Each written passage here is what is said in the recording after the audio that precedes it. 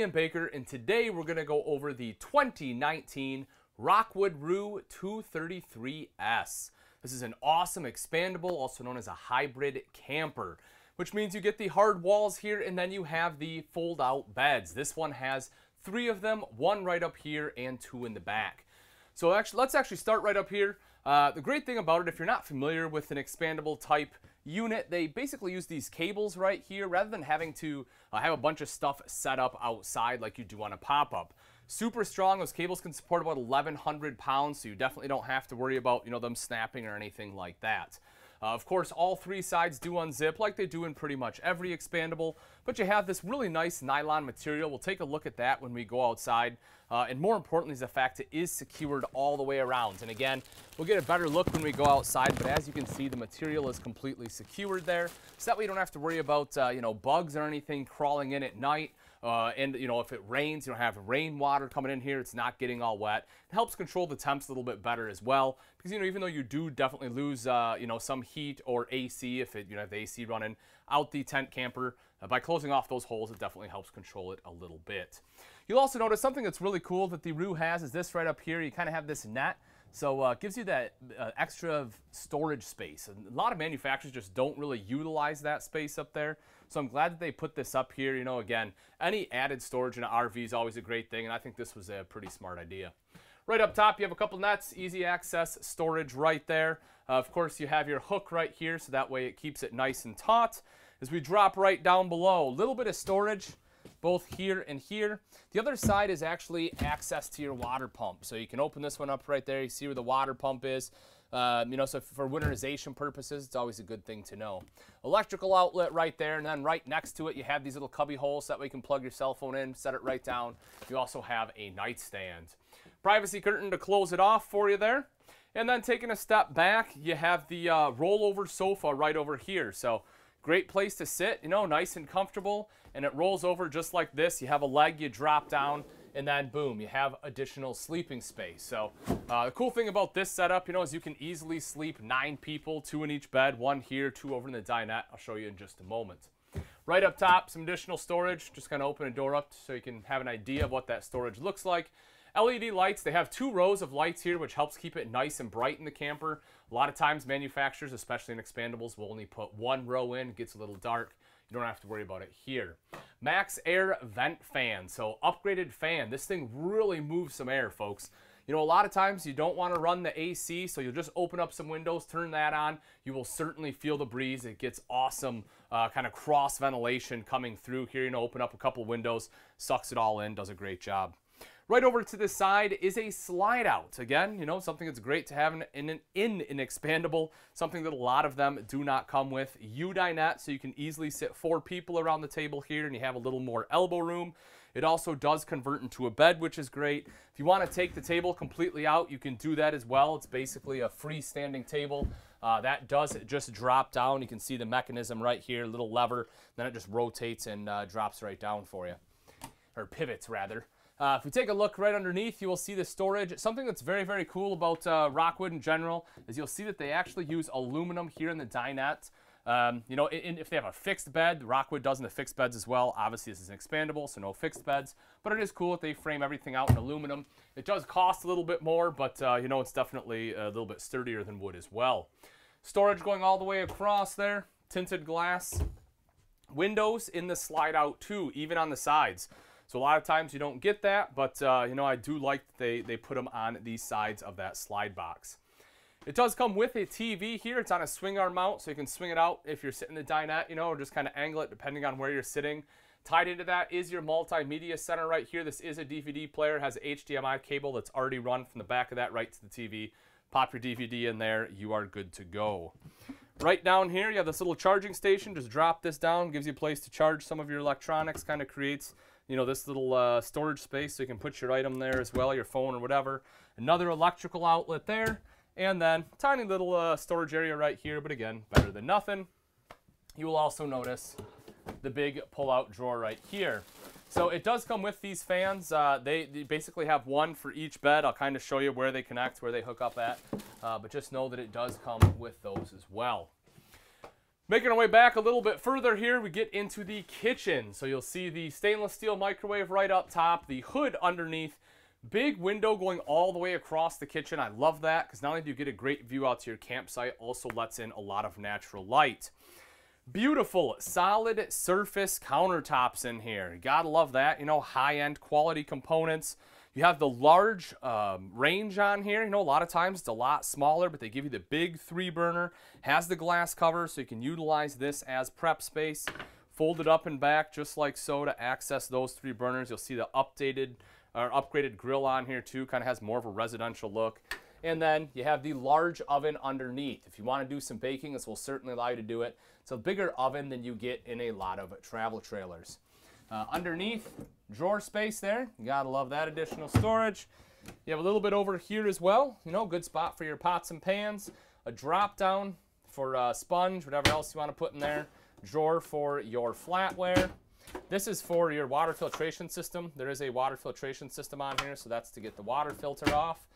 And then some additional storage right underneath that. Making our way up a tiny bit, Double bowl undermount stainless steel sink. Because you have solid surface, it allows you to undermount the sink. You will see the cooktop or the uh, sink top cover right here. This one you can flip this over to use this as a cutting board. The other one's a great drying rack. That way, you know, you can set your big pots and pans and stuff on there.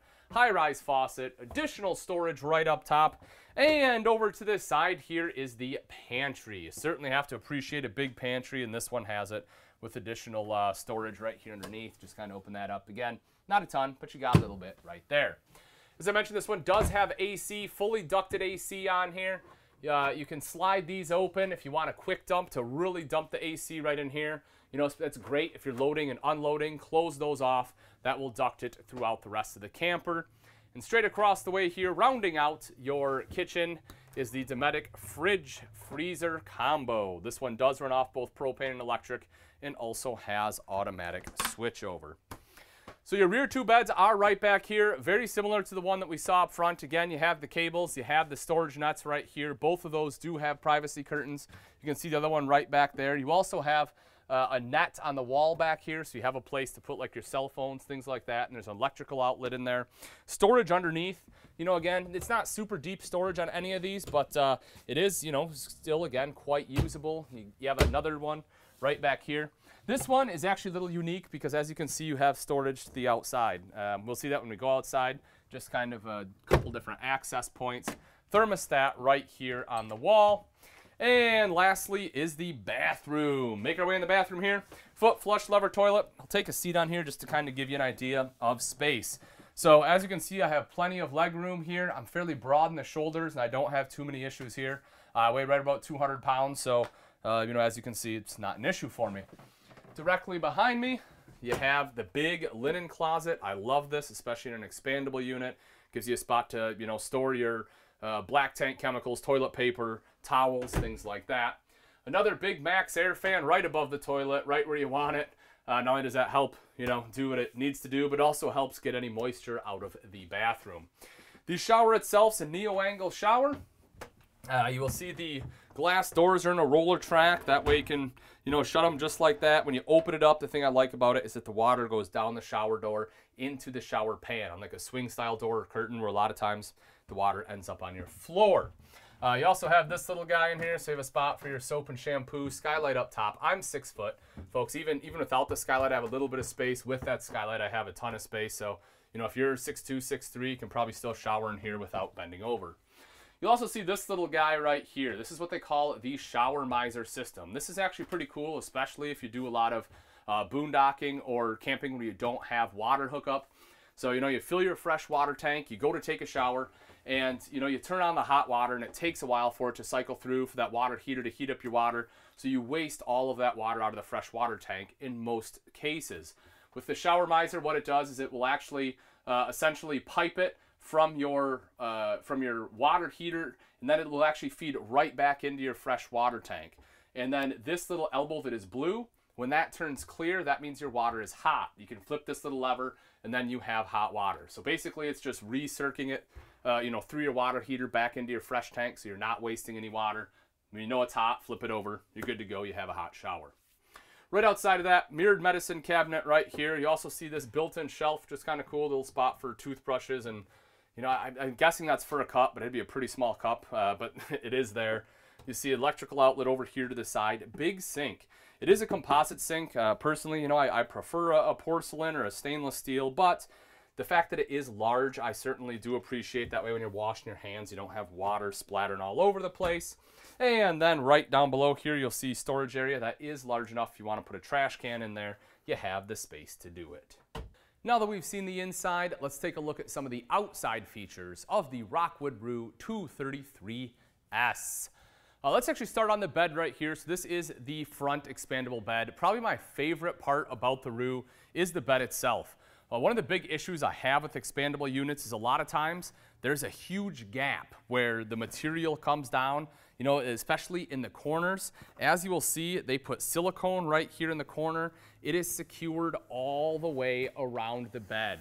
Even, you know, even tucked right back into here, it's fully secured under here so you don't have a bunch of bugs or anything flying in at night. Rainwater is going to run right off. It's not, you know, dripping down and coming in uh, underneath the bed or anything like that. Uh, so I love the fact that they did that. You also have a high quality vinyl material on here. It's very easy to clean. You can just basically wipe it down with soap and water. If you do have any kind of stains on here, uh, I believe they recommend OxiClean. Pretty simple and easy to clean up. You don't want to put anything harsh on here, uh, but you know, you treat it well and it will treat you well. You'll also see these. These are great. So this makes it a lot easier to put this away with one person. Now, I still have the, uh, the shepherd's hook in there, so you'd have to take that out and drop this part right here down. But the cool thing about this is you just lift this right up, you push it up, and then this locks it into place. You just go just like that with the lever, and that will lock it in place. A lot of times you have the big levers on there, and you know, if you're shorter, it can be pretty tough on some of the expandables because you have to be able to reach up to be able to get to that lever, and a lot of times you just don't have any leverage in order to do it. So having that system does make it a lot easier to put away with one person. If we take a look underneath, I'm sorry, it is pretty dirty. This one was parked in uh, the gravel, but uh, you'll see right here is power tongue jack right behind that, two 20-pound propane tanks. Behind that a little bit further is your diamond plating, helping to protect that front end. And then you have, uh, of course, a light right up there as well. Making our way around to the side here, fully laminated product, vacuum bonds, uh, so excellent construction on the Rockwood.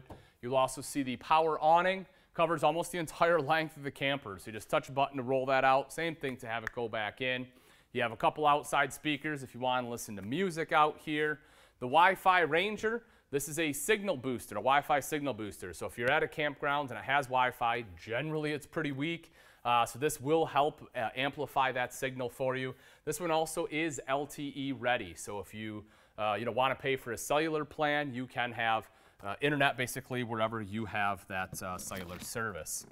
We'll open up this front storage compartment. It is magnetic, stays up just like that, nice and easy. When you take a look in there, uh, you will see that you have a little door, so access to inside, but nice little storage area right up front. The entrance has the foldable steps. This is the MORryde step above step system. Very, very solid. You know, I'm well over 200 pounds. You can see me climb up and down on here. It's not, uh, you know, it's not rocking or anything like that. It doesn't feel like a springboard. You have the aluminum treads. They won't rust. Grip tape on there as well. And the larger grab handles. So that way you have excellent control from that very first step all the way in. Frameless windows on here, that's a pretty big deal. Not only do they look great, you know, they're a lot more streamlined, uh, but also the seals themselves are tucked behind the glass. So that way it's not constantly getting beat up by the elements. And because the way they open, they tilt open like this, a lot of times it'll allow you to have your windows open even while it's raining. As long as it's not, you know, like a sideways rain, uh, you can have those open so you can get some airflow. It's not getting all stuffy inside while it's raining. I know the tires, again, are, are, pretty dirty, and I apologize, but they are aluminum alloy wheels on there. So when it is cleaned up, they look really, really sharp, and they will continue to look great because it's aluminum, which means they don't rust. Right out here is a propane quick connect. What is that for, you ask? Well, you will see this rail right here, and that is for your grill. It does come with the unit. You can put that right here, plug in your propane, quick connect, you're good to go. Feeds off your two 20-pound bottles up front instead of having to bring separate ones. You also see TV hookup. So if you want TV, here's the hookups for it. You will kind of have to run those up and around and make sure you know you avoid the grill if you are cooking. Uh, obviously, you probably don't want to watch TV and cook at the same time because your TV will be right up there. But uh, that's your connections for it. You can take the TV right from inside, drop it right down in here, and be able to watch TV underneath your awning. Black tank flush over here. So that black tank essentially has sprayers built into it. So what you do is instead of taking a hose and sticking it down your toilet inside, you just hook it up right there. And uh, those sprayers will essentially activate and wash out a lot of the solids and stuff that got left behind that didn't get dumped out with gravity. Of course, your rear bed right over here. Underneath that, you see that you do have a bumper there, square tubular bumper with end cap, so you can store your sewer hose in it. Your spare tires right here with an awesome hard cover to help protect it. Very easy to access too. Just, you know, unscrew that guy and you can pull the tire right off. That's that rear access I showed you when we were inside. Might be locked. Yeah, I still have it locked, but that's, uh, that's that uh, access. So again, you have a couple different access points. This is your third bed right over here to the side. Outside shower with both hot and cold water access there. Termination, again, I'm sorry, it's super dirty, but that is right down below. Both your black and gray tank valves are there. Cable and satellite inlet right over here, as well as your 30 amp detachable power cord. You will see your fresh tank fill is located there. Making our way up a tiny bit further here. Look at that. So again, it's magnetic, nice big storage area right up there. Um, you know, so definitely a, couple different storage areas. I know the ones, you know, that access the inside aren't super deep, but this is a good extra storage area right over here. You will also see your city water inlet up front, and you have your antifreeze inlet. This is awesome for winterization purposes. It really makes it a lot easier. I showed you uh, kind of where that water pump was located. So you take a hose from your bottle of glycol, hook it up right there, turn on the water pump. That will help cycle everything through the Roo for easy winterization. All right, folks, that wraps it up. Again, this is the 2019 Rockwood Roo 233S. If you're interested in this wonderful expandable unit and you would like price and availability, simply click on the link in the description. Thanks again for watching. I'm Ian Baker, and let's go camping.